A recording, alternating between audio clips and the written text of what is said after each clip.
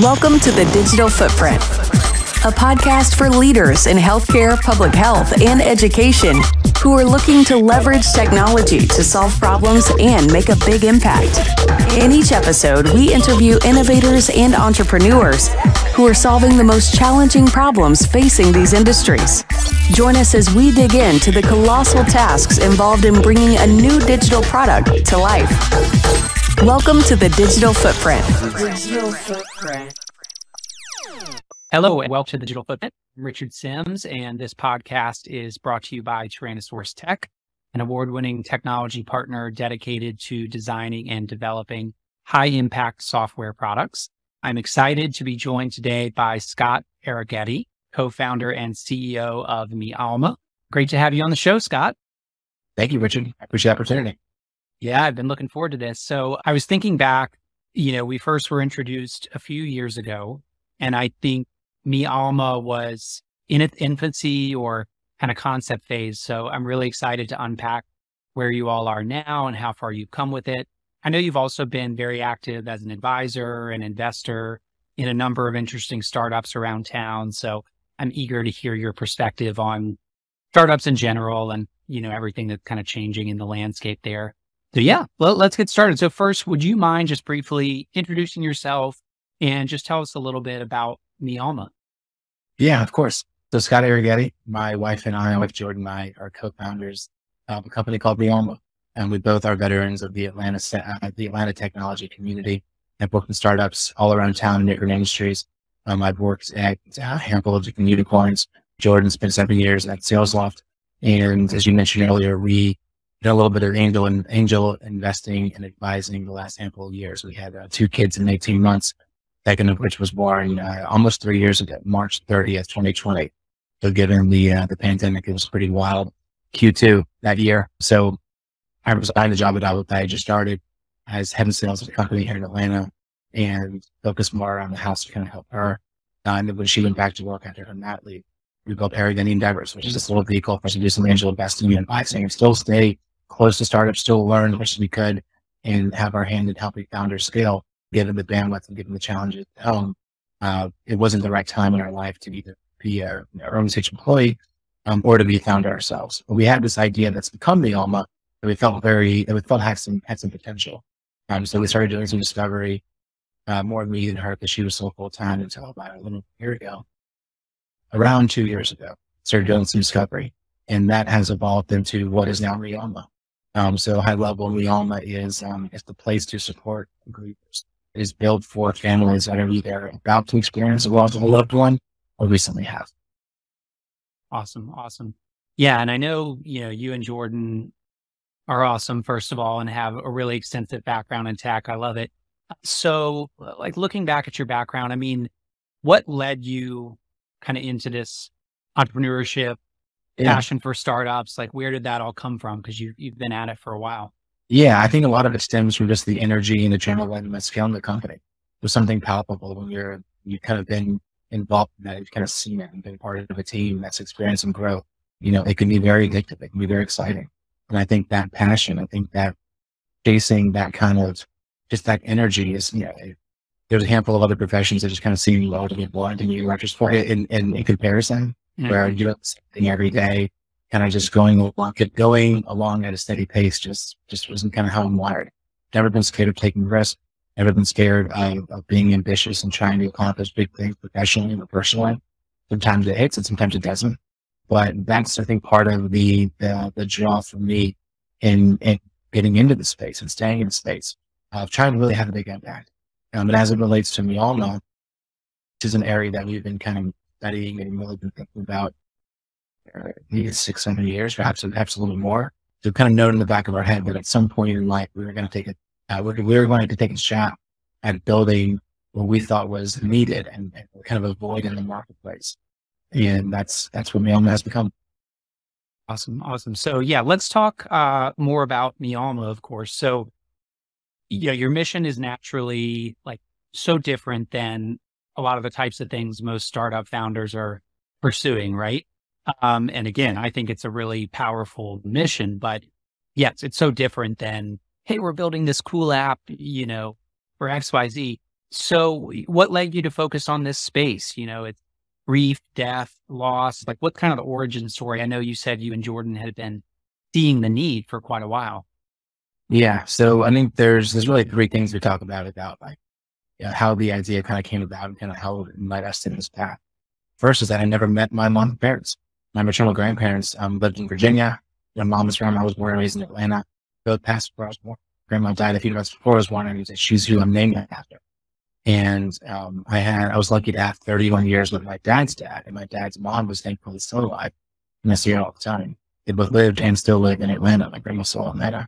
So it was always weird growing up that I knew so much more about one set of grandparents than the other. Um, it didn't sit well. It kind of felt almost a little embarrassing on that. Like I just knew so much more. And it began to kind of dawn on me more and more that, well, there's no Wikipedia page for my mom's parents. No Wikipedia page for Gail and Serena Jolene. And I don't even have a grandparent names for them. And as I started having kids and realizing that, like, okay, there's, there's, if I don't really feel like connected to them, how are my kids going to? So this notion of like there not being a place for me to go to at once be able to see all the pictures read all the stories, like eventually kind of turned into, well, why isn't there? What if there was? And what if we just went ahead and built it? That's the first part. The second part is really coming at it more as a supporter of, as I've gotten older and gone to my share of funerals and more services of people I know that have passed away, we're supporting friends that have gone through a loss. Um, the FAST approach felt increasingly insufficient, almost inadequate, where you would have, whether the passing was anticipated or sudden, you hear the news, go to an event, you maybe, you know, be supportive for the first handful of weeks and you go to an event at someone's home to kind of help, help the family, maybe make a donation or send food, whatever it is, flowers. And then after a couple of weeks, we kind of begin to notice this kind of cool imbalance that, that exists where generally speaking, for the first month or so, everyone, all the supporters are surrounding the family. They're bringing meals, flowers, around, they're helping out. Um, and they're most engaged while the grievers, the primary grievers are kind of in this opposite headspace where they're not, they're processing, trying to figure out what's going on. It's very hard emotionally, certainly all the logistic, just life is normal. And after generally a month, of course, it depends on certain variables, it kind of flips where all of the grievers are kind of beginning to come out of their shell for the most part and trying to understand more of what this new routine could look like, their new normal. And that's when all the supporters begin to kind of move on with their life and stop calling, stop texting, stop coming over. So we kind of identified this in our personal experiences. And there's one girl in particular who was um, a very close friend of my sister's, who whose little brother is one of my closest friends. And she uh, very tragically was diagnosed with cancer and, and passed away about a year later, about five years ago. And she had two kids that are at the time five and seven.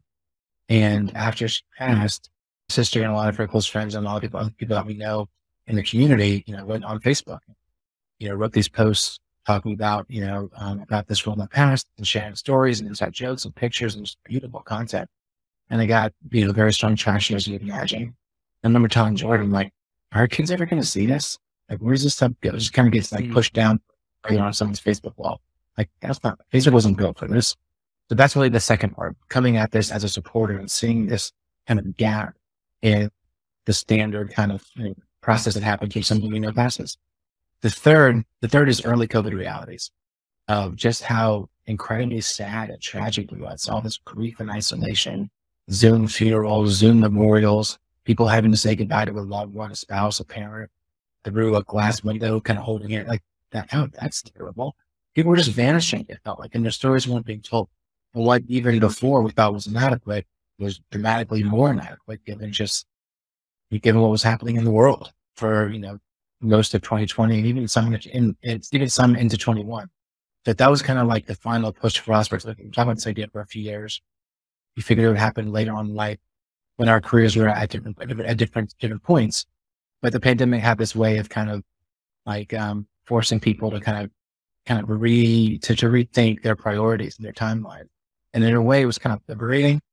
So we took inspiration from this sense of, okay, we're kind of like already off-roading on heavy heavy endeavors, having a baby and, and a newborn coming home to the hospital, you know, on April 3rd, I think it was, we got her in the hospital It was like, what did we cling to? We may as well just, you know, the time is right now. Time is, the time is right now to give this a shot. So that is what led us to kind of begin discovery of, you know, doing deep discovery of talking to everyone that we knew that has been in the space, whether directly as a griever or a supporter, which is effectively everybody. And then spiritual leaders and nonprofit heads and corporate anyone that was kind of remotely, you know, in this ecosystem. And it's evolved from there. Yeah, thank you. It's a really good explanation, kind of the various pain points that you all are trying to address, right? And exactly as you just said, I think that unfortunately, pretty much everyone, at least most adults, have dealt with, you know, a death of a loved one. So it's a pretty universal experience and something that we've all observed, like all the different angles of that. So, you know, one question I have is like, startups are so exciting and exhilarating, and they're difficult too, to say the least. And I'm sure MeAlma is very exciting and exhilarating, and there's like a lot of positive energy. But it's like, how do you kind of balance? Because it's a pretty heavy topic, you know, naturally. And you also are, you know, you have to be sensitive, of course, with folks you're dealing with that are grieving or just folks that are kind of in the ecosystem. So it's like, how do you all kind of balance these two day to day? Yeah, absolutely. It's, it, you're right. It's very delicate. And it's, it's an interesting thing because, you know, I've worked in different companies in different industries across my career from, you know, high school sports media to waste and recycling tech to supply chain warehousing and marketing tech. Now I'm in a completely different headspace every day. So it's definitely an adjustment, but you know, what we, what, what our, like our guiding light is that it's, it's meaningful and it's, and it's, and it's, it's, it's important. I mean, it's very emotional. You have to be delicate. You have to have a certain kind of mentality to, to, to, to go into the space and to see this need and want to address it and want to tackle it. And yeah, it's certainly difficult sometimes emotionally. I mean, we've actually recently uh, said uh, we have, uh, we have brought on a, almost like an emotional support outlet for employees to be able to have someone talk to.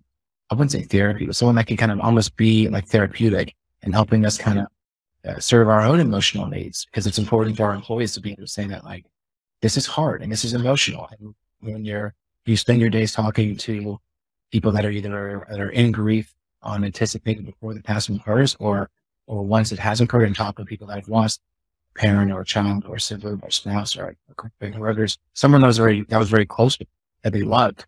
It's a very it's a very emotional thing. So yeah, there are ways that we have to be additional that can, you know, one of our core values the most important of our core value is do no harm, where it's important to us to be as proactive as we possibly can be in making sure that both the experience and the messaging and everything around the experience doesn't cause additional pain or anguish for a griever.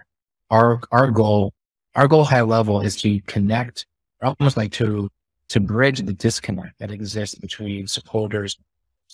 So you have this interesting balance where it's like, are you serving the griever? Are you serving the deceased? Are you serving the supporter? Mm-hmm. And we kind of strike that line in different ways at different points because you want to celebrate the deceased and we want to honor the deceased. But it really is at the end of the day, we think kind of mostly about the griever because the supporters exist to support the griever. So that's kind of where we kind of try to focus. But yeah, it's definitely, it can be hard. It can be emotional. And sometimes when you're talking to, you know, a widow that lost her husband, has young kids, you know, I've been lying to say that there were times that, you know, both my wife and I, once they broke down in tears, but like got a little emotional ourselves because it's just a very sad thing. But for us, that's kind of why we're doing this because we mm-hmm. do see opportunity to be helpful. We do see a need to make a difference and to make an impact in people's lives. And that's obviously there's a goal financially for every company that gets in some folks. But for us, it's also just like the ROI for us is also part of uh, getting that support from Griever, having someone say, thank you, this was incredibly helpful. I can't wait to show my kids this when they get older or having the kids say, thank you. I now feel closer to my father I, I who passed when I was younger than I did, you know, a month ago because now I have a MeAlma page that I can learn about them.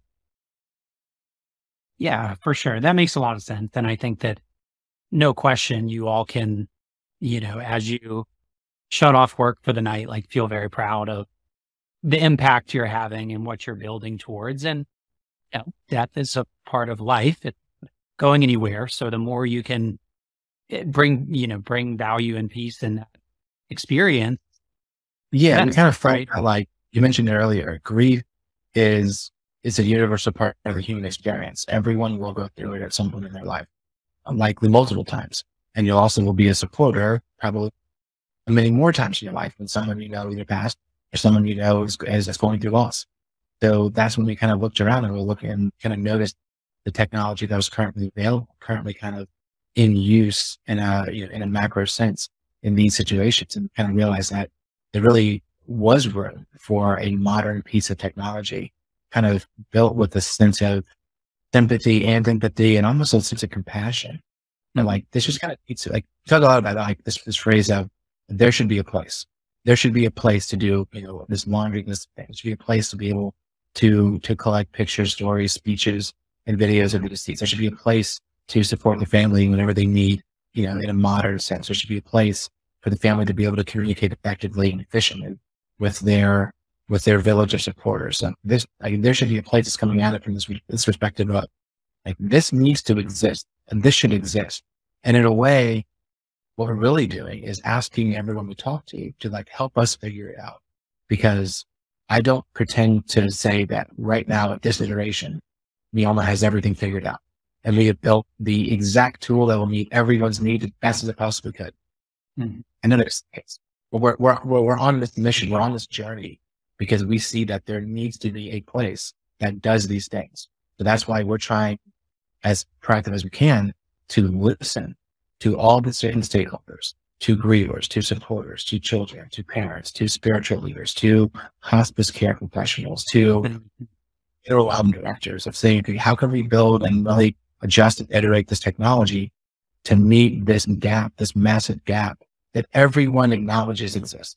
And that's part of the challenge and frankly, part of the fun. Like I've always loved putting together puzzles my entire life. And in a way, this is just one giant emotional, meaningful puzzle that many companies have tried to capture and many of them still are. And I'm sure many of them will more in the future. Like it's not everyone realizes the universality of it. So it's an attractive way in some, in some, in some senses if you can kind of handle the emotions and the awkwardness of it to build around because everyone knows you said it's you got the taxes. It's everyone goes through it. Mm-hmm. Mm-hmm.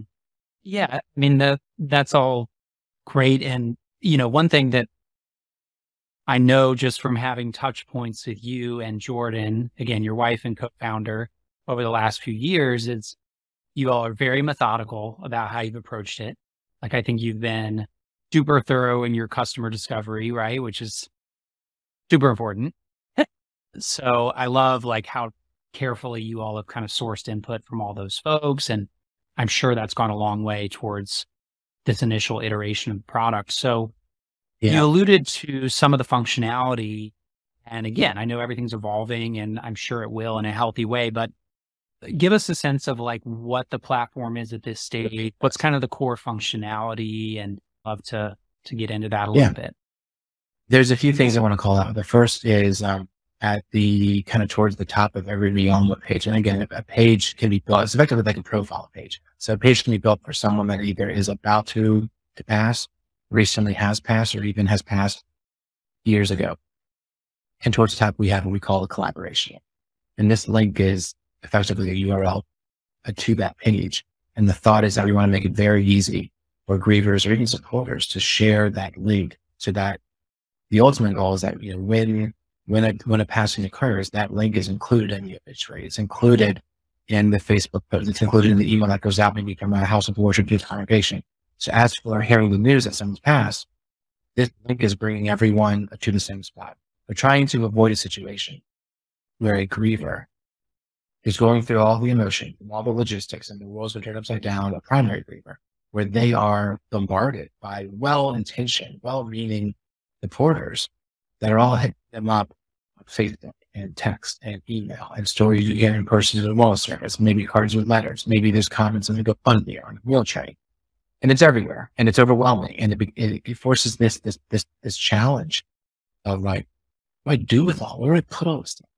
Drop on mm-hmm. folder. Like there really is one family wide, community wide repository of content that lives on in perpetuity.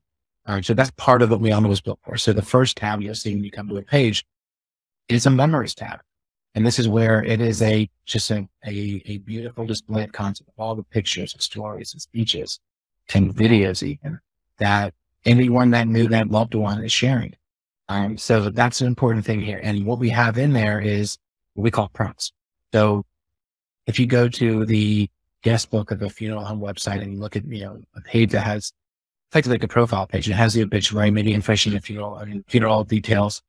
On that guest book, what generally happens is most people, most people say, you know, a variation of like four or five things. Just sorry for your loss, or maybe remember being blessing, or I to know how I can help you. I'm so sorry. But there's not always a lot of depth and substance in stories. So these prompts that we offer, which are very broad questions of, or something you met them, or tell us about your story about them. What were some words that you think they'd like to be remembered by? What one thing their kids or grandkids would like to know about them? To kind of really draw these stories out because the stories exist in the minds and the hearts of everyone that knew that person, their colleagues, their classmates, their neighbors, their friends, like everyone that's kind of in there in their ecosystem. And when they pass, those families, like that's what they find. Like they want to learn about their loved one through the eyes of everyone that knew them, especially if the primary grievers didn't know that person. So when you can have a situation where a widow tragically loses her husband, but now, and, and now after this, like, is like an equal thing because of course it's still incredibly sad and tragic. But when for her to be able to see pictures or hear stories of some of his old colleagues and classmates that she never, she wouldn't otherwise meet. That can be a very cathartic thing for them to now everyone is keeping that person alive. We talked a lot of in our discovery over the last two years, a lot of counselors, therapists, and really just experts that are, that are, that are working in this for decades and gone to school on this and practice this. And what they told us is there's two main fears in, in this. And like, I'll get back to the question about the tab in the minute, but I want to kind of go here for a second. The two main fears in the space are the fear of forgetting and the fear of being forgotten. So the fear of a supporter or griever forgetting certain things about their loved one as time goes on, and the fear of that deceased being forgotten.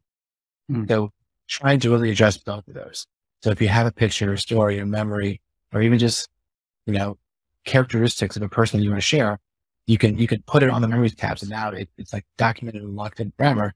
And the site itself and this collaboration, like ensures that that person will never be forgotten because it is in a way like this, like living memorial of sorts that's available in perpetuity. So I like to say the first tab is memories. The second tab is what we call the support registry, similar to a baby or wedding registry. And the way it works is, you know, to kind of tell the story on this. You know, generally speaking, you hear that a friend of yours or someone you know passed away or someone you know went through a loss. What most people think well, the first question most people ask themselves is, how can I help? What can I do? And that could be a hard question to answer because you don't want to bug a griever. You know, they're going through a lot, but it can be hard to kind of find that clear direction. Like, what do they want? Hmm. What do they need? Because you really want to do is you want to feel like you've done something. You want to kind of check the box and like, okay, I feel good. I did, I made a donation. I sent flowers, whatever it is. I went to a funeral service or whatever it is. So what we built on support registry is kind of meant to model that. So whether the family is asking for funds directly, either through a GoFundMe or another campaign, wherever they're directing supporters to make a donation in honor of the deceased to, whether to House of Worship or a nonprofit or whatever causes near and dear to their heart, you can link to it very easily there. There's a meal train if they're, they're organizing third party support for meals or groceries do DoorDash or Uber Eats or whatever it is. You can do all that through the site with point, see, click, ease and use functionality. And then also in there, we have what we call volunteering time and energy. And this is the kind of thing that isn't applicable in every use case. When my grandfather passed away in 2015, you know, my grandma didn't really need this, but a widow that loses her husband at 40 years old and has, has two young kids would.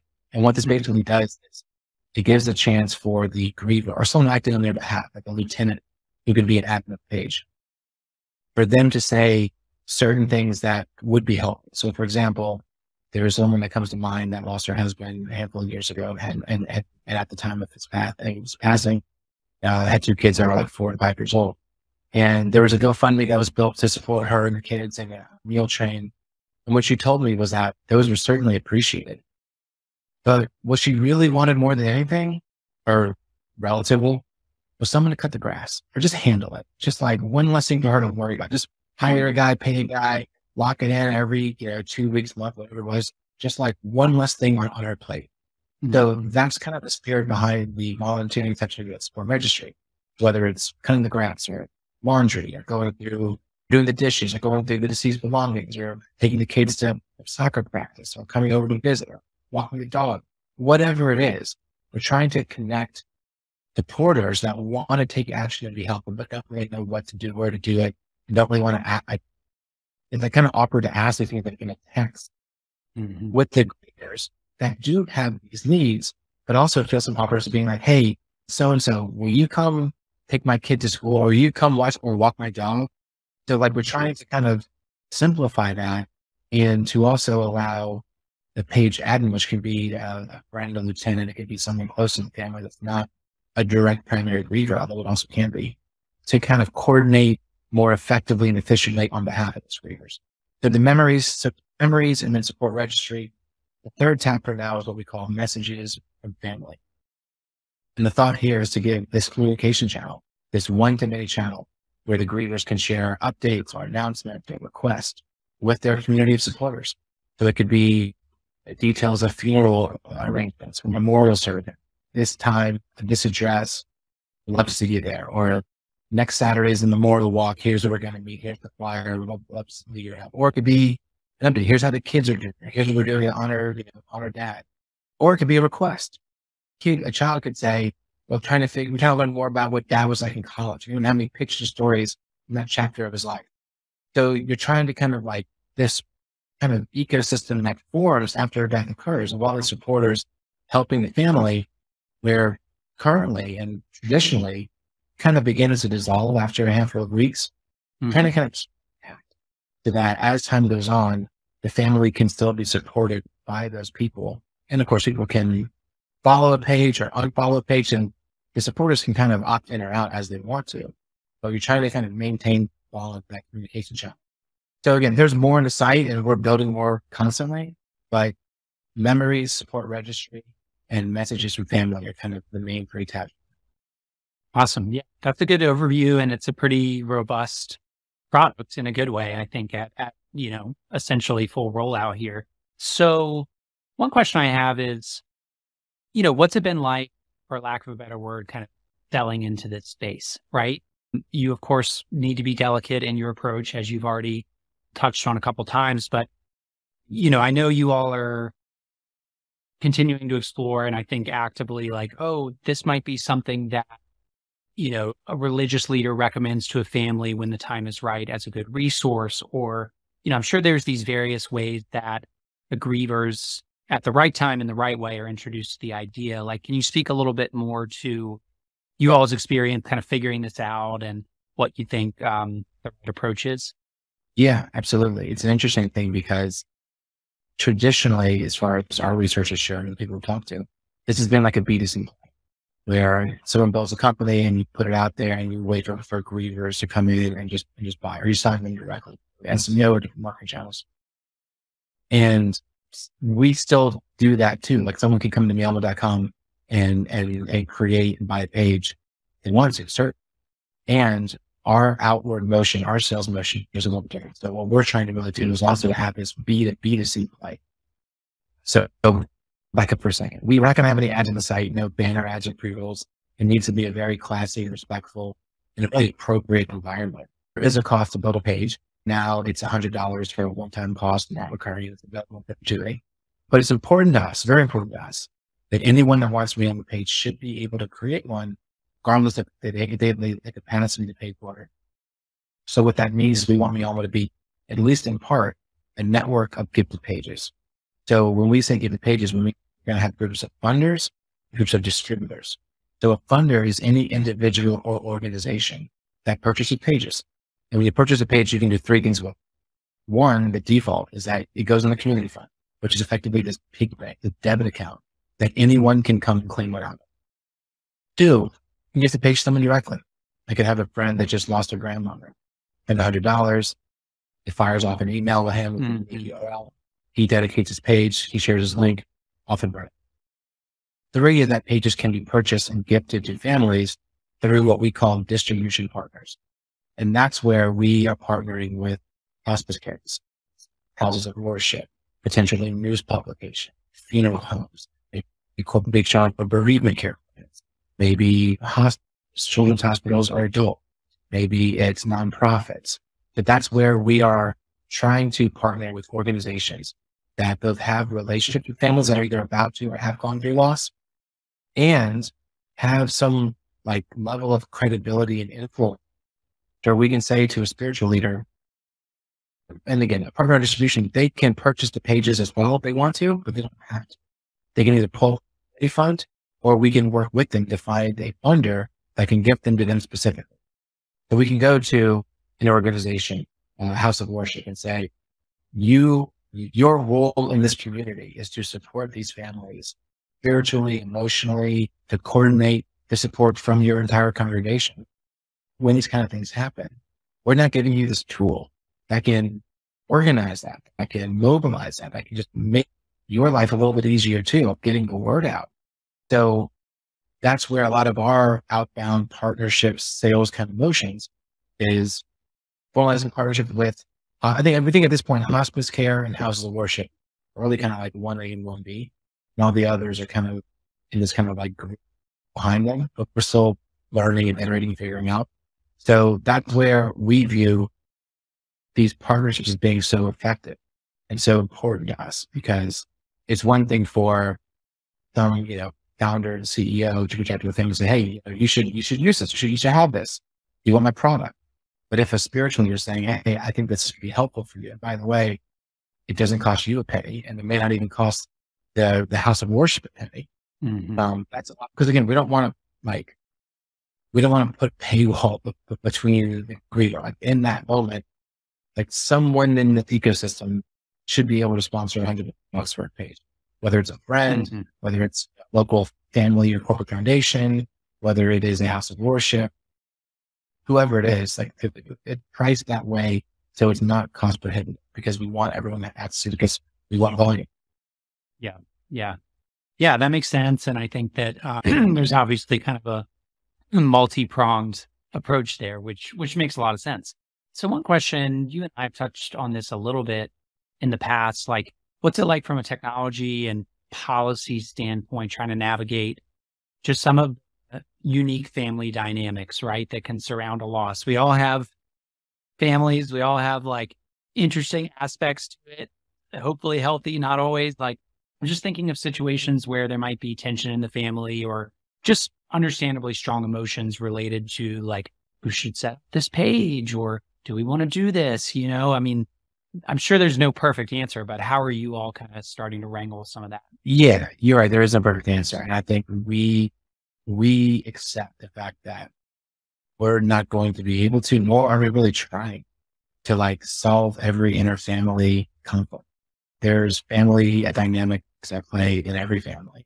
And our position is more so that for those that want this, it, it, it should, for those that want this, it should exist as an offering.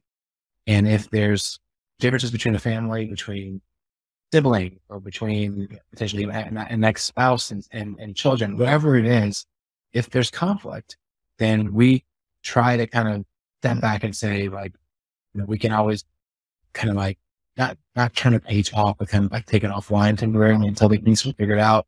And again, we're we're we're learning and iterating through all those arguments. And now the most important thing is that we're not we're not trying to to be, you know, a psychologist and like get in between those conflicts. Um, they they do arise. They will continue to arise. That's just kind of part of how things work. Our view is more of when there is agreement in the family, and everyone's comfortable with this. Think that there should be an offering that does these kinds of things. Um, and if there is a conflict where you know one party is feels very strongly against having something, or there's disagreement on you know, what pay, what picture should be in profile picture or so again, it's a very important we back up. Going back to like the the do no harm piece. Family admins have the ability to control certain privacy settings. If who has access to view certain content, they can remove any content any point that they want. They can block a user's ability to post. It's important that the family is in control and really behind the wheel and like what they're doing. We have to be very careful not to be overly prescriptive and how someone needs to be using the It's just something it's not our place. So when it comes to the family, the family dynamics, we're going to try lightly. And again, we're also still trying to figure this out. There isn't so there isn't a magic answer, and we haven't even gotten close to finding a magic answer. So part of this is just early stage. You know, we are going to keep iterating as we go. Um, but you're exactly right. Like it is, it is one of the things that I will say keeps me up at night, but like we're very attuned to because we know how emotional, sometimes rational. I think grief can be in a way like intoxicating. It can kind of just distract you and, and, and, and, and make people, you know, behave in certain ways that they otherwise wouldn't behave. So, you know, we have to be very mindful of that on the front end and very delicate and have kind of a very soft touch because, you know, our goal is to help people. And sometimes people may not want that help and maybe it upsets them that a sibling or a cousin or whoever it is creates a page for their loved one that they did want. Mm-hmm. So it really isn't a great answer to that. It's more of we're not trying to solve every family conflict and we're trying to to kind of listen and learn as best we can. Right. Well, I'm sure you all will find the, the right balance. And I think your hearts are in the right place. And it's oversimplification, but in a sense, it's not a new problem. I mean, let's say I have someone close to me that passes and I want to, you know, buy a space in a newspaper to do a, a memorial for them. Like, I don't think there's really any checks in place there to make sure that yeah. every other and person. I, it's also, it's also part of part of why we're trying to partner with houses of worship because again, not all, but in, in some, perhaps in most cases, hopefully that spiritual leader can also play this like therapeutic role of right meeting and navigating to where like MeAlma isn't the bad guy. MeAlma's just trying to say, hey, like, if you want this, love to give it to you. And if you don't want this, like, all. We're not trying to get in between. Yeah. Yeah. That makes sense.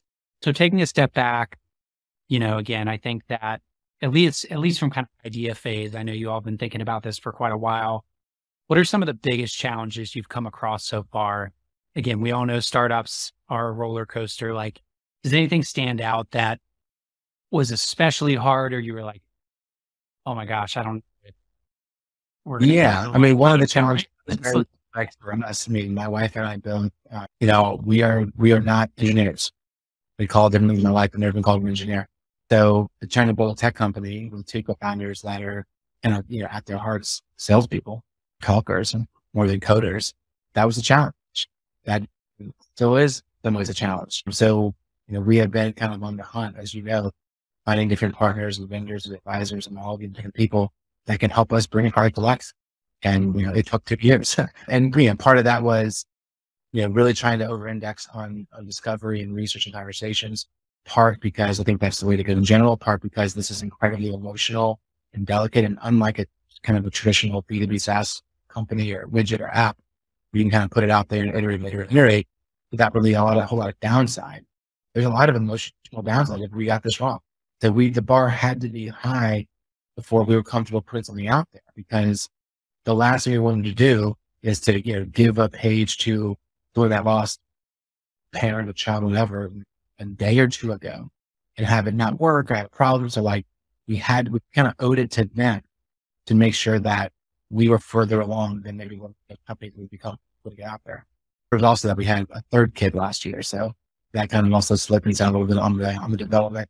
But yeah, I think finding the right technical partners and and now you know staff. We hired we hired a mm-hmm. CTO last year. He was wonderful. He was he was brilliant. Beckett had been advisor of us for a handful of years, so he was very familiar with kind of what, with what we were doing and how it. So I think you know tech is one of that. I think other challenges, you know, it's uh, sometimes people, you know, when you're doing discovery, you have to always kind of look at all the, the feedback you're getting from this perspective of, will they actually do that? Or are they just saying it because that's what they think I want to hear? So it's been really interesting since pages went live the last, few months ago. They kind of observe certain behaviors once we actually had something to give people versus just doing discovery in the front end before there actually was a product. So it's almost like it's still discovery, but it's, it's like a line in the sand between you know, um, where you are aspirational and more kind of like, like hypothetical discovery versus like actual, here it is. I'm going to see if you actually, yes, I'm going to see how you use this and where you get stuff, if you get stuff, where do you abandon, Why do you abandon? There are a lot of priorities. I'd say some ways we've learned more in the last two months than we have in the last two years because the velocity of those learnings is becoming accelerated. So trying to iterate from that, trying to analyze that, trying to do to you know, maintain yeah, updates with your investors of how your strategy is evolving and changing or what that means for different ways. It's all a challenge, but it's all it's all kind of fun and it's incredibly stimulating. And I think that what what gets keeps us, you know, inspired and motivated is just seeing the potential of the impact that we can make. There's, you know, I'll tell you one more story. They, uh, a little over a month ago, we had the first instance where a griever put a young page on social media. It was uh, it was a legacy use case that you know, her person had passed away last May. So it wasn't 20 years ago, but it also wasn't a week ago. Hmm. It was a big number because we weren't sure, well, people going to engage us? People going to share pictures to us? How would they react? Would this griever feel let down? Like no one was engaging. There was, there was risk. And she posted on Facebook and LinkedIn on a Friday, February. And, you know, it was, it was beautiful to see. I think she had over 50 posts that came in that day, that day and the next day mm-hmm. of all of, you know, her, her husband's colleagues and friends, buddies and some of their and cousins that were sharing pictures and stories and memories. And it was a very hard day for her because of course she's still grief and she's, you know, she's still mourning loss of her husband, but she was very grateful. She was very, she appreciated that now she has all this content and now moving forward, it's there for her as a crutch on important days, on the anniversary when he was born and in the past, or you know their wedding anniversary, or on the random days, Tuesday morning, Monday evening when she can't sleep or she has a bad dream, and now she you know get taken or she well here's a song, sees a picture, has the memory that triggers a thought of him, and now she's back in this you know wave of mm-hmm. nostalgia. Great. Our goal is that she has this page now that she can go to and be reminded of all the wonderful things that he did and how people knew and loved him and still know and love him, even after he passed. And hopefully it's a little bit, hope it's a little bit cathartic to her that now this exists and will always exist, you know, again, as a culture. That's great. Yeah. And I'm sure that those types of wins, you know, for you and Jordan and the rest of the team, like mean a lot. And, it, you know, it's been a lot of work to get there. I'm sure you're going to see more and more and more of those and it's going to be very fulfilling. Awesome. So in the in the last few minutes here, I want to ask a couple couple different questions, like pivot a little bit, if uh, yeah. if, if that's cool with you. So as a startup guy, I think like a lot is changing in the startup scene, to say the least, right? Interest rates, we've got this like SVB collapse craziness.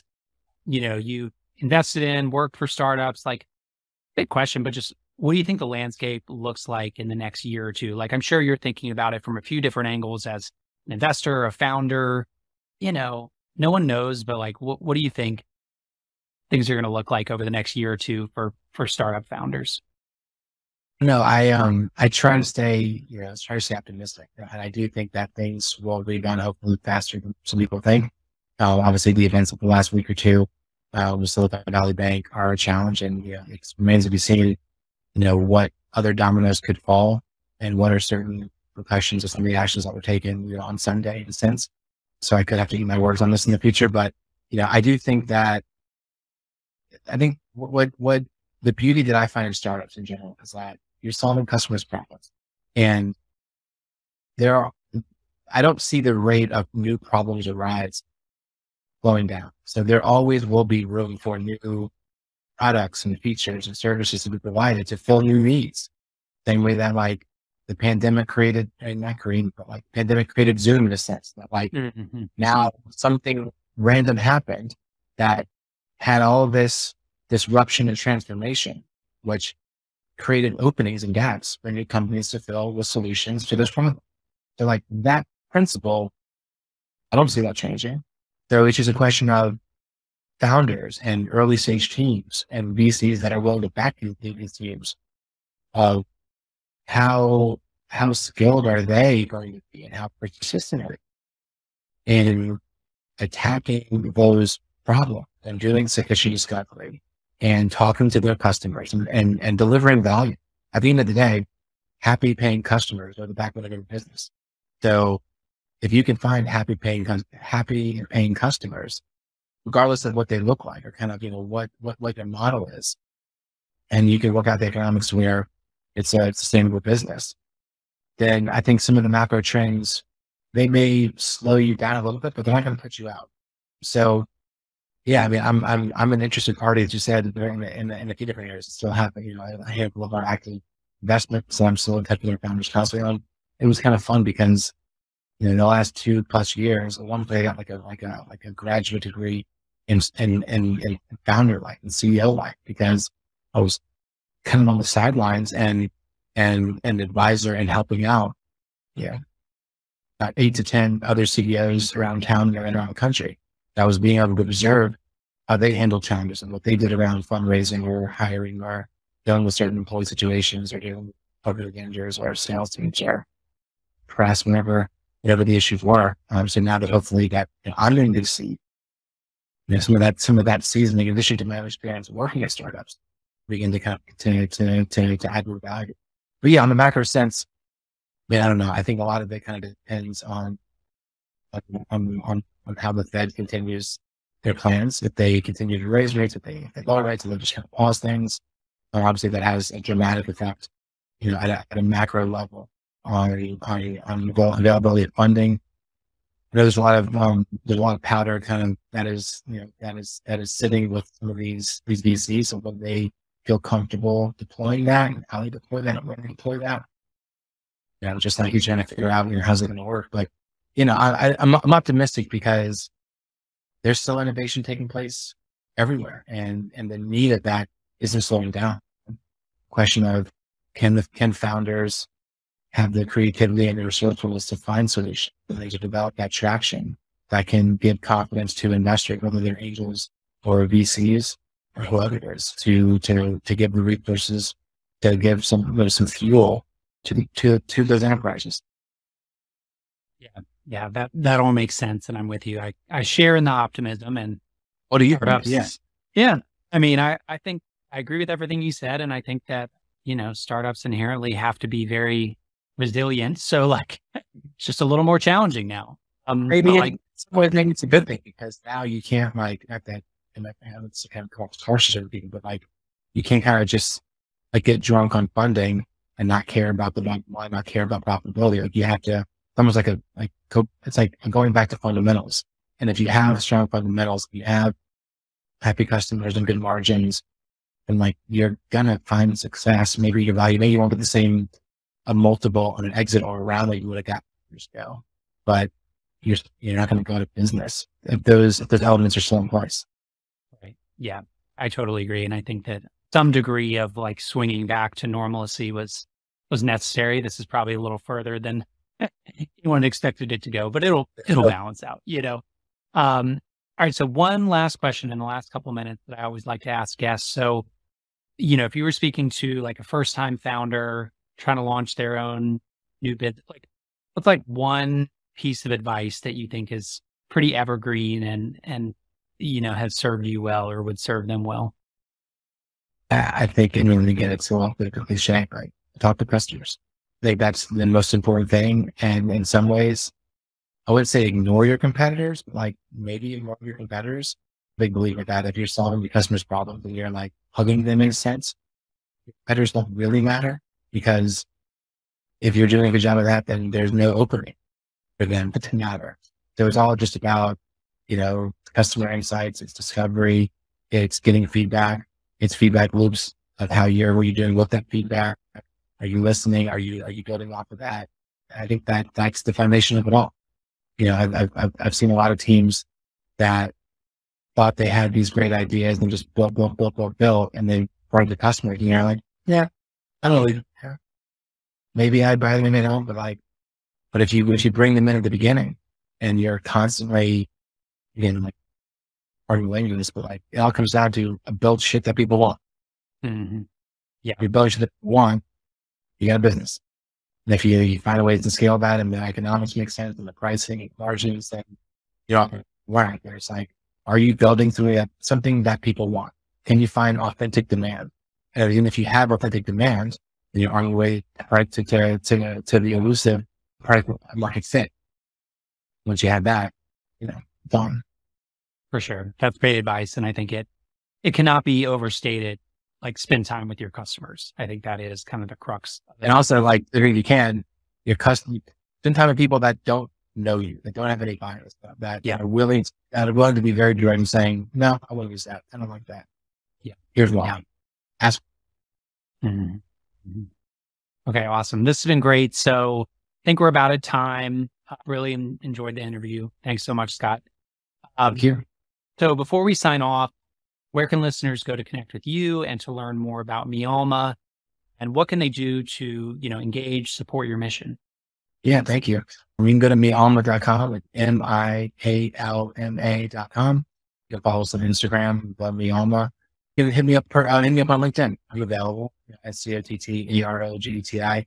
Uh, and honestly, the, the thing about MeAlma is that every person will, will, yeah, will either be a greeter or a supporter, or it might be both many times. So if there was one ask I'd have for listeners of this or watchers of this, give us some feedback. Help us understand how we can better serve the needs that you have. It's not this like private ownership thing where it's like, you know, we're balling this and you don't like, we don't like the way we're doing it, then, you know, screw you. This is, this is the right way. We, this is, this sounds like a good project. So we, we, we really want and are asking and are, and are, are grateful for every kernel of feedback that we get because everyone's a user of this. So, you know, almost like help us do a better job of serving the needs that you and everyone around us. Sounds great. Uh, well, thanks again for being on the show, Scott, and look forward to the continued growth of MeAlma. Thanks again. I appreciate it. Thank you for listening to The Digital Footprint. This show is brought to you by Tyrannosaurus Tech, an award winning technology partner dedicated to designing and developing high impact software products. If you like what you heard in this episode, make sure to subscribe to the podcast on Apple, Spotify, or wherever you get your podcasts. For show notes and access to all episodes, please visit tyrannosaurustech.com slash blog.